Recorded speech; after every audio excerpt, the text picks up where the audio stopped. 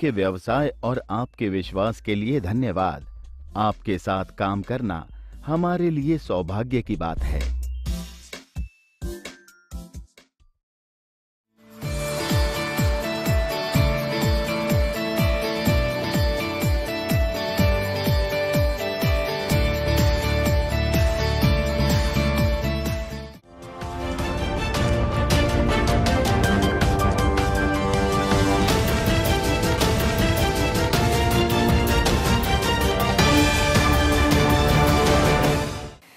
নমস্কার। আমার বাংলা সংবাদে আমি অনুষ্মা দাস আপনাদেরকে স্বাগত জানাচ্ছি। প্রথমেই সংবাদ শিরোনাম। তিন রাজ্যে বিজেপির জয় শিলচরেও বিজয় মিছিল সংগঠনের।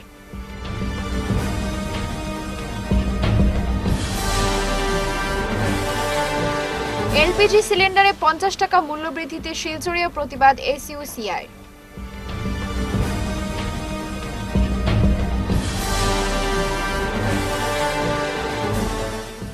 শিলচর কালাইন রাস্তা নিয়ে ফের সোচ্চার পায়োনিয়ার ক্লাব।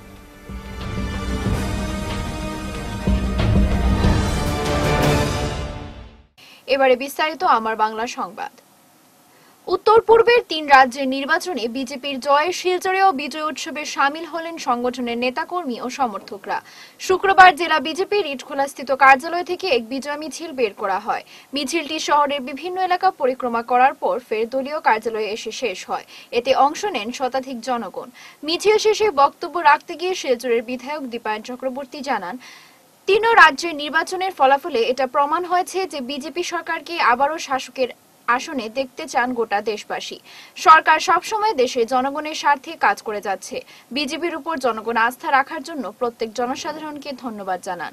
পাশাপাশি আগামী দিনেও একই ধারাবাহিকতা রেখে সংগঠন এগিয়ে যাবে বলে বিধায়ক আশা ব্যক্ত করেন। মোদীজির নেতৃত্বে আজকে সরকার এনে দিয়েছেন। যার ত্রিপুরা রাজ্যবাসীর সাথে সাথে ভারতীয় জনতা পার্টির আমাদের অসংখ্য কার্যকর্তা, সম্মানিত সকল কার্যকর্তা বন্ধুকে আমি আমার অভিনন্দন জ্ঞাপন করছি। ভারতবর্ষের এই রাজ্যে সরকার এনে দেওয়ার জন্য শিলচর থেকেও আমাদের সম্মানিত জনসাধারণ, কাছাড় থেকেও বরাক থেকে আমার সম্মানিত জনসাধারণরা, তারা ফোন করে করে ত্রিপুরা রাজ্যে তাদের যারা রিলেটিভরা রয়েছে তাদের যে বলেছেন, আপনারা ভোট দিন, তো ভারতীয় জনতা পার্টিকে ভোট দিন। তাদের সকলের চরণে আজকের দিনে আমি আমাদের, আমার প্রণাম নিবেদন করছি।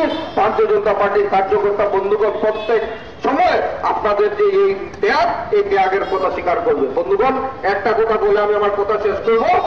যে উন্নয়নের জোয়ার তো ভারতীয় জনতা পার্টি করতে জানে। প্রত্যেক ভারতীয় জনতা পার্টির পাবলিক রিপ্রেজেন্টেটিভরা রয়েছেন। সাংসদ ডক্টর রাজদীপ রায় মহাশয় শুরু করে ভারতীয় জনতা পার্টির সকল বিধায়ক শুরু করে আমরা উন্নয়নের কাজ শুরু করেছি। মাত্র দেড় বছরের মাথায় এই সামনে দশ মিটার দূরে আপনারা দেখতে পাচ্ছেন একটা নালা করা হচ্ছে। সেখানে কি হবে? একটা ট্রেন হবে। আজকের দিনে আমি আমার প্রশ্ন ছুটতে চাই। কংগ্রেস তথা বিজেপি সরকারের পাবলিক রিপ্রেজেন্টেটিভদের যে ভারতবর্ষ স্বাধীন হওয়ার পর দ্বিতীয় শহর আমরা যাদেরকে বলে থাকি, শিলচর শহর, এই শহরের উন্নয়নের জন্য আপনারা কি করেছেন? চলিত মাসের পয়লা মার্চ থেকে এলপিজি সিলিন্ডারের মূল্য পঞ্চাশ টাকা বাড়ানোর জন্য গোটা রাজ্যের সঙ্গে শিলচরেও বিক্ষোভ প্রদর্শন করল এসইউসিআই কমিউনিস্ট দল। শুক্রবার দুপুর বারোটা নাগাদ সংগঠনের কর্মকর্তারা জড়ো হয়ে এর বিরুদ্ধে গর্জে ওঠেন।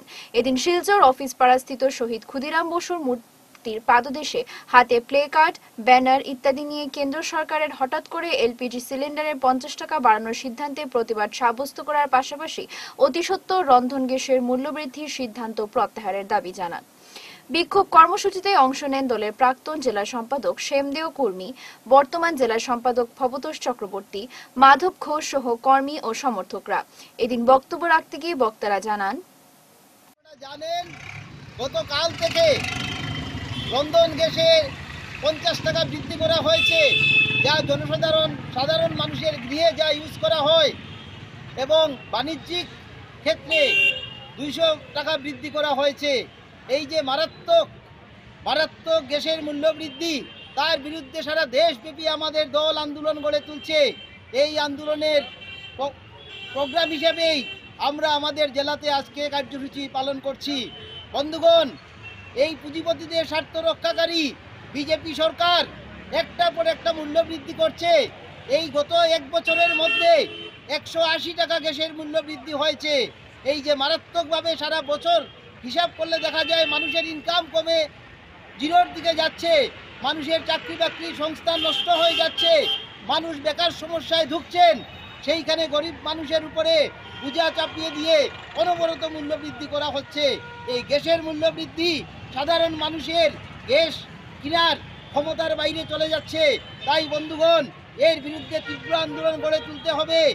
আমরা এসইউসিআই কমিউনিস্ট দলের পক্ষ থেকে সংগ্রামী জনসাধারণকে আহ্বান রাখছি, আপনারা সেই আন্দোলনে যুক্ত হন এবং তীব্র আন্দোলন গড়ে তোলা হোক, যাতে মূল্যবৃদ্ধি এবং পুঁজিপ- পুঁজিপতিদের স্বার্থ রক্ষাকারী এই সরকার তাদের কাজ করা থেকে বিরত থাকে।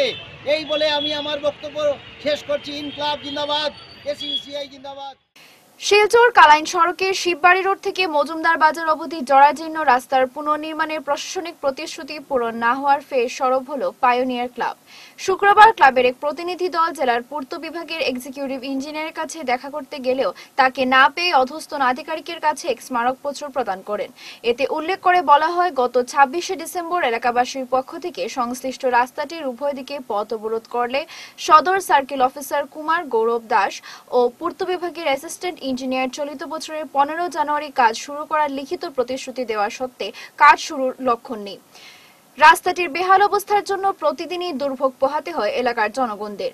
স্মারকপত্রের প্রতিলিপি তুলে দেওয়া হয় ডিডিসি রাজীব রায়কেও।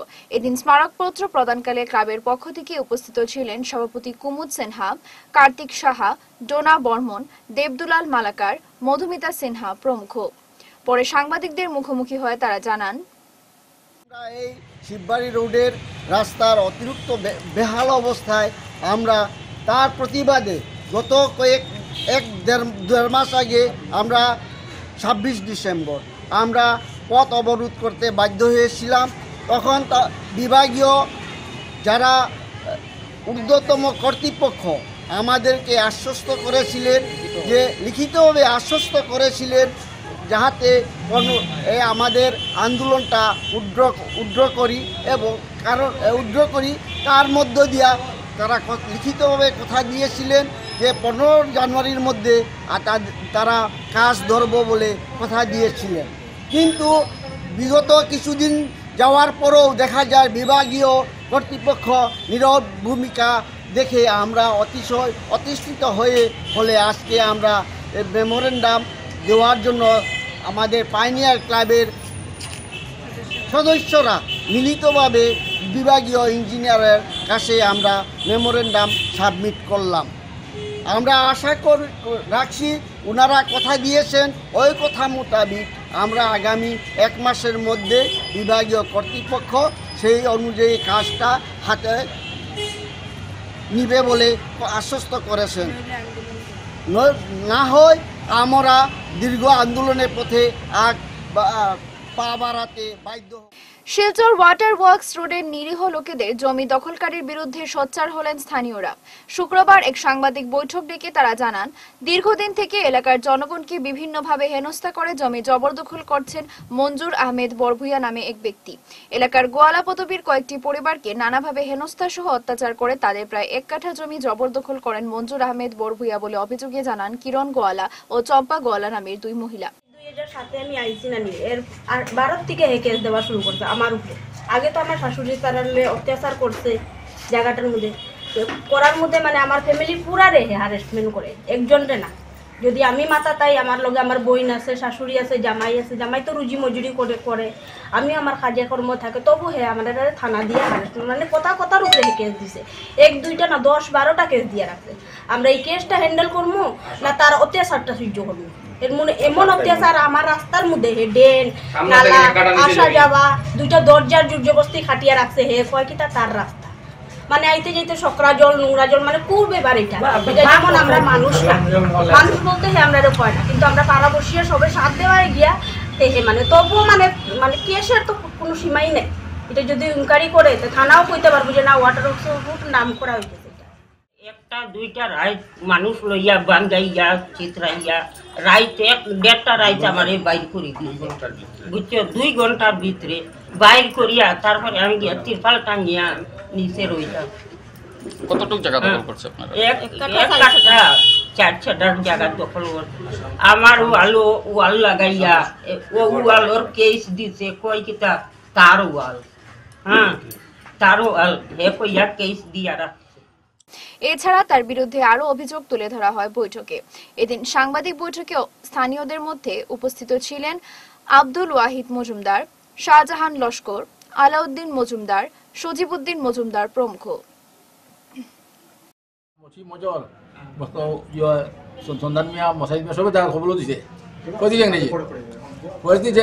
দিলে তাই কৈ দিলে বন্ধু সব লৈ আহে, কৈ গড় খৰচ নাই সেইকাৰণে। তাই তাই সেইকাৰণে গড় কৈ দিলে গড় কৰি আৰু ইয়াৰ ইয়াৰ পৰা তাই চল্লিছ হাজাৰ লৈছোঁ তাৰ মাৰে চাই এৰাৰ মাৰে চাই লৈছোঁ মেজৰ মেজৰ বিক্ৰী আছে য'ত মেজৰ বিক্ৰী লৈছোঁ তাই। ও চৌত্ৰিছ ইংৰাজীত অঁ চৌত্ৰিছ ইংৰাজীত বুজিনি লোৱাৰ বাদে তাই গড় খৰচ কৰাৰ বাদে এই তার বাড়ি আলো তার বাড়ি আমাকে গেলে গুয়ারি তার জুন করি আমাকে গেলে তাই আমার কেস দিলা। কেস দেওয়ার বাদে আর ইয়া মুসিব মুসিব কেস দিয়ে মুসিব কেস পাইছি ওই ডিগ্রি মস্তানি নামে।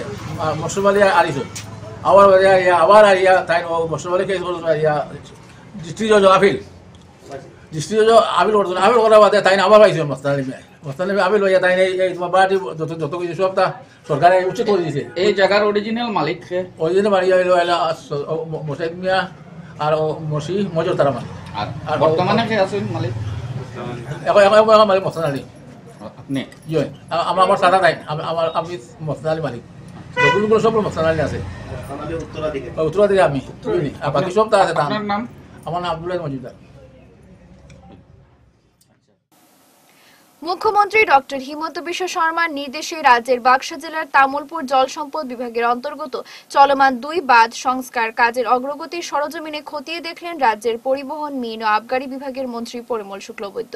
বৃহস্পতিবার প্রথমে মন্ত্রী তামুলপুর জল সম্পদ বিভাগের অধীনস্থ নাথকুচি বুনবাড়িতে চার কোটি আট লক্ষ উনপঞ্চাশ হাজার টাকা ব্যয়ে নির্মিত হওয়া বাঁধ সংস্কারের কাজ খতিয়ে দেখেন। পরে চার কোটি উননব্বই লক্ষ টাকা ব্যয় নির্মিত হওয়া ভোলাচার বাঁধ সংস্কার কাজ খতিয়ে দেখেন। উভয় বাঁধই শুক্লাই নদীর প্রকোপে বিপর্যস্ত হয়। সংশ্লিষ্ট বাঁধ দুটির কাজ মান উন্নীতকরণের জন্য বিভাগীয় আধিকারিক সহ বরাত পাওয়া ঠিকাদারকে নির্দেশ দেন মন্ত্রী। এদিন মন্ত্রীর সঙ্গে অন্যান্যদের মধ্যে উপস্থিত ছিলেন তামুলপুর ডিভিশনের সার্কেল আধিকারিক মানস বরা তামুলপুর জল সম্পদ বিভাগের এক্সিকিউটিভ ইঞ্জিনিয়ার গোলাপ দাস প্রমুখ। এতিয়া আঠাইছ তাৰিখ কেবিনেটত মাননীয় মুখ্যমন্ত্ৰী নিৰ্দেশ দিছে, গোটেইখিনি মন্ত্ৰীক আমি যিসকল মন্ত্ৰী আছো যে এই যে নতুন কাম, মাথাউৰিৰ কাম চলি আছে, এই কামখিনি আমি এজন এজনক দায়িত্ব দিয়া হৈছে, অসমৰ বিভিন্ন ঠাইত গৈ পৰিদৰ্শন কৰি এটা ৰিপৰ্ট গভৰ্ণমেণ্টক ছাবমিট কৰাৰ এই ক্ষেত্ৰত বিভাগে, জলসম্পদ বিভাগে আমাক দায়িত্ব দিলে, ইয়াতে নাথকুচি বনবাৰী এটা এটা মাথাউৰিৰ কাম আৰম্ভ হৈছে। সেইটো চাই যোৱাৰ কাৰণে আৰু তাৰ অলপ দূৰত আৰু এটা আছে এতিয়া যাম মই। ইয়াতে কিছুমান আমাৰ আমাৰ গোটেইখিনি লিখিতভাৱে ছাবমিট কৰিব লাগিব যে কাম কেতিয়া এৱাৰ্ড হৈছে। কামেৰ আজিৰ দিনত য'ত ব্ৰিজ আছিল য'ত ভাঙিছিল মথাউৰি ইয়াত কিমান কাম হৈছে। ঠিক তেনেকুৱা পাৰ্কুপাইনেৰ কামটো চলি আছে নেকি? আমাৰ জিঅ'বেগেৰ কামটো চলি আছে নেকি? আমাৰ আমাৰ ধৰক আমাৰ ইয়াতে কিবা ফৰেষ্ট্ৰি ৰিলেটেড মাটিৰ কিবা প্ৰব্লেম আছে নেকি? বা আমাৰ ৰেভিনিউ মাটিৰ প্ৰব্লেম আছে নেকি? কামটো যদি বন্ধ আছে তেনেহ'লে কি কাৰণত বন্ধ আছে? কামটো যদি চলি আছে তেনেহ'লে কিমান পাৰ্চেণ্টটো হৈছে? এই ক্ষেত্ৰত ইয়াতে in and around four crores চাৰি কোটি কিমান টকাৰ কাম আৰম্ভ হৈছে। ইয়াতে বিভাগে কোৱা মতে পঁচিছ দুইত অৰ্ডাৰটো দিয়া হৈছে। সমগ্র রাজ্যের সঙ্গে সঙ্গতি রেখে করিমগঞ্জে শুরু হয়েছে উৎসমুখর পরিবেশে মাধ্যমিকের চূড়ান্ত পরীক্ষা। করিমগঞ্জ শহরের বেশ কয়েকটি পরীক্ষা কেন্দ্রে ছিল উপচে পড়া ভিড়। শুক্রবার ছিল মাধ্যমিক পরীক্ষার প্রথম দিন। অন্যদিকে করিমগঞ্জ জেলা প্রশাসনের পক্ষ থেকে নিরাপত্তার জন্য একদল পুলিশ বাহিনী প্রতিটি পরীক্ষা কেন্দ্রের গেটের সম্মুখে ছিলেন। স্বচ্ছ এবং নিরপেক্ষ পরীক্ষা পরিচালনা করার জন্য বিভাগীয় কর্তৃপক্ষের সকল নির্দেশাবলী কঠোরভাবে মেনে নিয়েছিলেন পরীক্ষা কেন্দ্রের ইনচার্জ সহ ইনভিজিলেটররা। আজ বিভিন্ন পরীক্ষা কেন্দ্রের ইনচার্জরা সাংবাদিকদের মুখোমুখি হয়ে প্রতিক্রিয়া ব্যক্ত করেন। Maizgram high school Patu Mahishasan high school Latu high school এই পুরাউড়িয়া হাই স্কুল আর শামসুন্দর হাই স্কুল। এই পাঁচটা স্কুলের স্টুডেন্ট আমার এখানে আছে। সব অ্যারেঞ্জমেন্ট ঠিকঠাক আছে? সব অ্যারেঞ্জমেন্ট খুব সুন্দর হয়েছে কোনো প্রবলেম নাই। আমার সেন্টারটা খুব সেফ সেন্টার এখানে একটাই এন্ট্রেন্স গতিকে এখানে বাইরে থেকে কোনো নকল টকল সাপ্লাই করার কোনো সিস্টেমই নেই। আমার এখানে মানে একটা এন্ট্রেন্স একটা এন্ট্রেন্সে ঢুকতে লাগে ঢুকে গেলে আর আর কোনো রাস্তা নাই। ঠিক আছে। থ্যাংক ইউ স্যার ঠিক আছে তো খুব সুন্দরভাবে এখানে অ্যারেঞ্জমেন্ট এবং জাস্ট একটাই এন্ট্রান্স যে হিসাবে এরকম খাওয়া হয়েছে এবং এই স্কুলগুলো খাওয়া হয়েছে যে আসলে এখানে সেন্টার আচ্ছা এনিবে যত টাইম যার তত এখানে মানে ইয়ে বাড়ে যেহেতু নয়টা থেকে পরীক্ষা শুরু। বিগত প্রলয়ঙ্কারী বন্যার দশ মাস পেরিয়ে যাবার পরও স্থায়ী সমাধানের কোনো উদ্যোগ নেই। গ্রিনফিল্ড এয়ারপোর্টের নামে চল্লিশ লক্ষ চারাগাছ উপরে জমি অধিগ্রহণের পরও মেলেনি বিমান পরিবহন মন্ত্রকের সবুজ সংকেত। ঘটা করে অটল বিহারী বাজপেয়ীর মূর্তি স্থাপন করে উদ্বোধনের এক বছর পরও ঝুলে আছে মহাসড়কের একত্রিশ কিলোমিটার অংশের কাজ। সময়সীমা বলা হচ্ছে দু হাজার ছাব্বিশ, কিন্তু তা নিয়ে মোটেই ভরসা রাখতে পারছেন না বরাকবাসী। এইসব গুরুত্বপূর্ণ সমস্যার সমাধানে চূড়ান্ত ব্যর্থতার জন্য সাংসদ রাজদীপ রায়কে কাঠগড়ায় তুলে অবিলম্বে তার পদত্যাগের দাবি জানল বরাক ডেমোক্রেটিক ফ্রন্ট। বিডিএফ মুখ্য আহ্বায়ক প্রদীপ দত্ত রায় বলেন, বিগত বন্যার সময় শিলচরের সাংসদের নিষ্ক্রিয় ভূমিকা জনগণ প্রত্যক্ষ করেছেন, যার পরিপ্রেক্ষিতে খোদ মুখ্যমন্ত্রীকে বারবার শিলচরে সে অবস্থা সামাল দিতে হয়েছে। এরপরই বাঁধ নির্মাণ সহ ওকেজো লুইস গেট মহিষাবিল রাঙ্গির খাল ইত্যাদি সংস্কারকল্পে মুখ্যমন্ত্রীর তরফে ছাপ্পান্ন কোটি টাকা বরাদ্দ করা হয়। কিন্তু বিগত দশ মাসে এই কাজে ছিটে ফোটাও অগ্রগতি হয়নি। এখন যখন আবার বর্ষা সমাগত, তখন সংবাদ মাধ্যমে বিরূপ প্রতিক্রিয়া ও সামাজিক মাধ্যম সহ বিভিন্ন মঞ্চে জনগণের ক্ষোভ আছড়ে পড়ায়। শিলচরের সাংসদ রাজদীপ তার দায়িত্ব ছাড়তে নিষ্ক্রিয়তার জন্য দিশপুরের মন্ত্রীদের দায়ী করেছেন। এর প্রত্যুত্তরে রাজ্যের জলসম্পদ মন্ত্রী গত দশ মাসে সাংসদের ব্যাপারে কোনো তদ্বির করেননি বলে তাকে কাঠখড়ায় তুলেছেন। বর্তমানে স্পষ্ট বোঝা যাচ্ছে যে আগামী বর্ষার মরশুমে যে শিলচর আবার প্লাবিত হতে পারে এবং আবার চূড়ান্ত ক্ষতিগ্রস্ত হতে পারেন শহরবাসী, তা নিয়ে বিন্দুমাত্র মাথা ব্যথা নেই শাসক দলের নেতা মন্ত্রীদের এমনকি শিলচরের সাংসদও তা নিয়ে আদৌ ভাবিত নন। এমন ব্যক্তিকে নির্বাচিত করার খেসারত দিতে হচ্ছে শহরবাসীকে। আগামীতে এর যোগ্য জবাব দিতে জনগণকে আহ্বান জানিয়েছেন দত্ত রায়। ভারতবর্ষের যত সাংসদ রয়েছে, তার মধ্যে নিকৃষ্টতম অকর্মণ্য নিষ্কর্মা এবং ব্যর্থ সাংসদ যদি কেউ থেকে থাকে, সেটা শিলচরের সাংসদ রাজদীপ রায়। সে প্রতিটি ব্যাপারে ব্যর্থ হয়েছে। গত বছর ভয়াবহ বন্যায় বেতুকান্দির বাঁধ ভেঙে যাওয়ার কারণে শিলচরের এক লক্ষ মানুষ জলের তলায় ছিল এবং সেখানে সাংসদের ভূমিকা ছিল অত্যন্ত লজ্জাজনক, যেটা মুখ্যমন্ত্রী নিজে স্বীকার করে গেছে ছাপ্পান্ন কোটি টাকা এখানে মঞ্জুর করেছে, কিন্তু আমাদের সাংসদ গত দশ মাসের মধ্যে সময় হয়নি। এই বান্ধের কাজটা কি করে শুরু করা যায়, তার প্রসিডিউর কি করে তৈরি করা যায়, সেটা ব্যর্থ হয়েছে। আজকে মুখ্যমন্ত্রী বন্যা নিয়ন্ত্রণ মন্ত্রী উদ্যোগ নিয়ে গত পরশুদিন মাত্র টেন্ডার হয়েছে। এটা কত বড় ব্যর্থতা? আজকে দেখুন ডলু টিএসটে এই সাংসদ বলেছিল সেখানে নাকি গ্রিনফিল্ড এয়ারপোর্ট হবে। অথচ সিভিল এভিয়েশন মিনিস্টার বারবার বলছে আমাদের শিলচরে গ্রিনফিল্ড এয়ারপোর্ট হওয়ার কোনো রকম প্রস্তাব নেই। আজকে দেখুন মহাসড়কের খালি বলেন মে মাসে শুরু হয়ে যাবে, এপ্রিল মাসে শুরু হয়ে যাবে, কিন্তু আজ পর্যন্ত মহাসড়কের কোনো কিছু কিনারা করতে পারেনি। আমি মনে করি শিলচরবাসী ভুল করে একে সাংসদ বানিয়েছেন। আগামী দিনে শিলচরের মানুষ এর জবাব দেবে এবং সাংসদকে বলব যে আপনি অবিলম্বে পদত্যাগ করুন আপনার ব্যর্থতার কারণে। একুশ সেক্টর আসাম রাইফেলসের শ্রীকোনা ব্যাটালিয়ন সদর দফতরের ইন্সপেক্টর জেনারেলের তত্ত্বাবধানে বৃহস্পতিবার মণিপুরের তামেংলং জেলার তোশেম সাব ডিভিশনের অন্তর্গত কাইমাই গ্রামের পার্বত্য অঞ্চলে আফিম পোস্ত গাছের ব্যাপক চাষ ধ্বংস করে। নেশাজাতীয় দ্রব্যের বিরুদ্ধে চালানো এই অভিযানে তোশেম থানার মণিপুর পুলিশ ও বন বিভাগের আধিকারিকরা আসাম রাইফেলস শ্রীকোনা ব্যাটালিয়নের সাথে যৌথভাবে অংশগ্রহণ করেন। একুশ একর বনভূমিতে রোপণ করা প্রায় চার দশমিক দুই লক্ষ আফিম পোস্তের গাছ ধ্বংস করেছেন জওয়ানরা যার মূল্য এক দশমিক শূন্য তিন কোটি টাকা হবে বলে জানা গেছে। আসাম রাইফেলস শ্রীকোনা ব্যাটালিয়ন নেশা জাতীয় দ্রব্যের অবৈধ কার্যকলাপকে দমন করে এলাকার স্বচ্ছ পরিবেশ ফিরিয়ে আনার পাশাপাশি মণিপুর রাজ্যকে নেশামুক্ত করতে অভিযান অব্যাহত রাখবে বলেও এদিন জানানো হয়েছে। খোঁজের উদ্যোগে অজিত কুমার সোম ও মঞ্জু সোম স্মৃতি ভলিবল প্রতিযোগিতা শেষ হয়েছে। দুদিনের নকআউট প্রাইজ মানি প্রতিযোগিতার ফাইনাল খেলা ছিল শুক্রবার। গণিগ্রাম বনাম, মতিনগরের মধ্যে উত্তেজনাপূর্ণ খেলায় গণিগ্রাম জয়লাভ করে। ফাইনাল খেলার পূর্বে খেলোয়াড়দের সাথে পরিচিত হন ডক্টর এম মাসুম। সুরজিৎ সোম, সজল লস্কর, কল্যাণ কুমার চক্রবর্তী, বাহারুল ইসলাম বোরভুইয়া, তাহেরা লস্কর, দীপা চক্রবর্তী, মলয় ভট্টাচার্য, বদরুদ্দিন মজুমদার প্রমুখ। এই দুই দিনের খেলায় সোনাই অঞ্চলে বেশ উৎসাহ দেখা যায়। চ্যাম্পিয়ন ও রানার্স দলের হাতে পুরস্কার তুলে দেন উপস্থিত অতিথিরা। মোট চোদ্দটি দল অংশগ্রহণ করেছিল এই খেলায়। পরিচালনায় সহযোগিতার হাত বাড়িয়ে দেয় সোনাই ফুটবল একাডেমি। ভবিষ্যতে সেটা শুধরে নেওয়ার চেষ্টা করব আমাদের ইচ্ছা যে গ্রামীণ প্রতিভাগুলো যেভাবে আমরা উঠিয়ে নিতে পারি, যাতে তারা একটা বৃহত্তর অ্যাটমসফিয়ারে গিয়ে খেলতে পারে, খেলার সুযোগ পায়, সেটা আমরা করার চেষ্টা করছি। আমরা বিভিন্ন সময় বিভিন্ন স্থানে বিভিন্ন ধরনের খেলা বা অন্য কিছু অর্গানাইজ করে থাকি, বিশেষ করে প্রত্যন্ত অঞ্চলে। যাতে লোকেরা বা খেলোয়াড়রা বা অন্যান্য যে আছে সাংস্কৃতিক সংস্থা আছে তারা সুযোগ পায়, যাতে বৃহত্তর পরিসরে তারা খেলতে পারে, যোগাযোগ করতে পারে এবং এক্সপোজারটা পায়।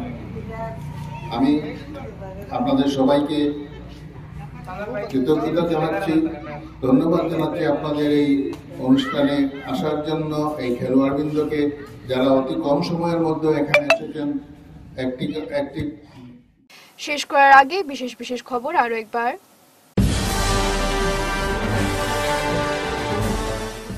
তিন রাজ্যে বিজেপির জয় শিলচরেও বিজয় মিছিল সংগঠনের।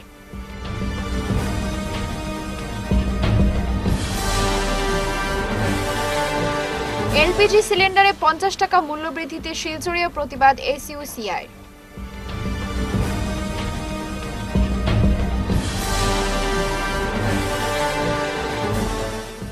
শিলচর কালাইন রাস্তা নিয়ে ফের সোচ্চার পায়োনিয়ার ক্লাব।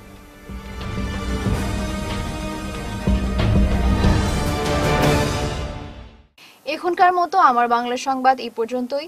নমস্কার।